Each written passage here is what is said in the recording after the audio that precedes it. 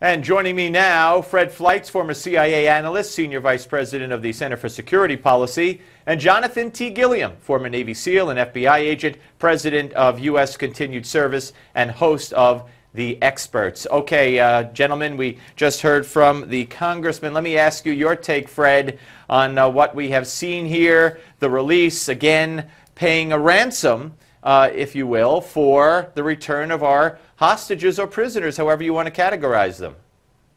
Steve, it's good to be here. Look, we're all delighted that these Americans were released. And, you know, if I was advising the president, I might have recommended some type of a trade. But we shouldn't be happy about this. And we should have condemned Iran for mistreating Americans and taking hostages. And let me point out something the President and Secretary of State will not mention.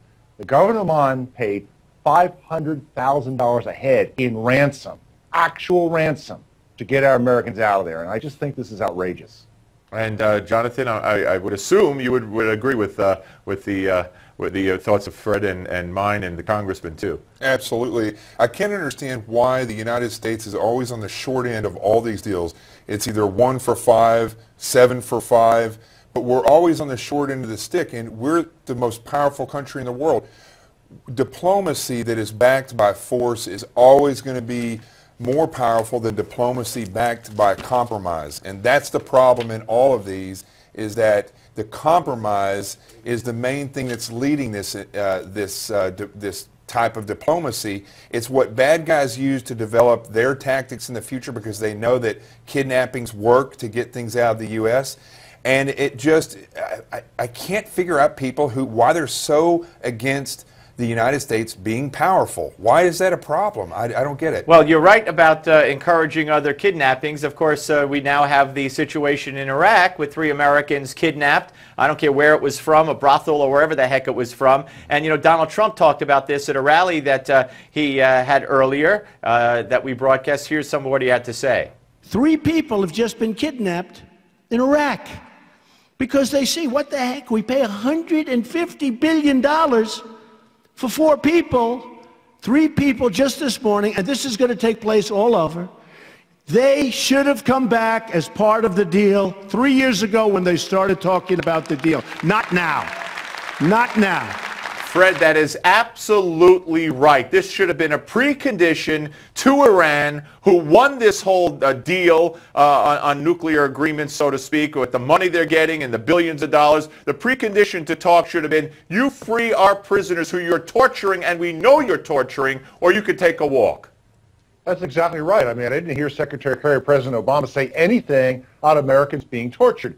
And the president did this before. When three American hikers were kidnapped by Iran a few years ago, they were released because Oman paid, well, they called it bail money, but it was ransom. Right. Americans are being held hostage. Iran has found that taking hostages pays off. Jonathan, we've heard this president time and time again, and the left say time and time again that anything we do, anything we say, radical Islam, you name it, that's going to put a target on the backs of our men and women in uniform all around the world, and American citizens too. But this president, time after time, puts that target on their backs, does he not?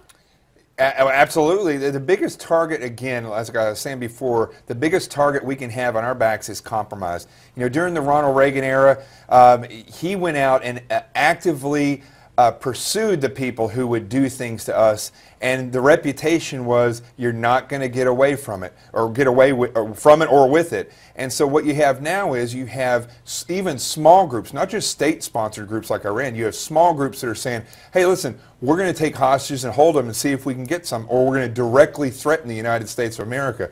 And people need to realize that when we take people uh, prisoner, whether it be of war or they do something wrong and they go to jail um, there may be an interrogation session. There may be sessions of interrogation. But overall, they're, uh, they're going to be taken care of. Look at how bad people treat prisoners, and you will see who we're definitely All right, now I want you to watch what Marco Rubio had to say about the sailor situation the other day. Watch.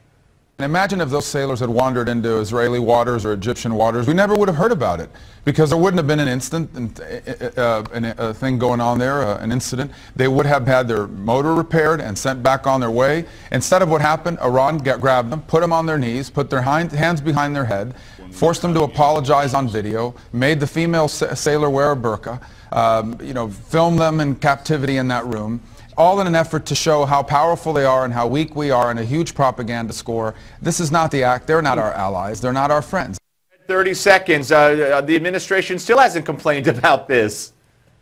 I think that's right. I also think that those sailors were taking were taken prisoner the day of the State of the Union to send a message to the president. We are in the driver's seat for the rest of your presidency in the Middle East. Yeah, what about it, uh, Jonathan?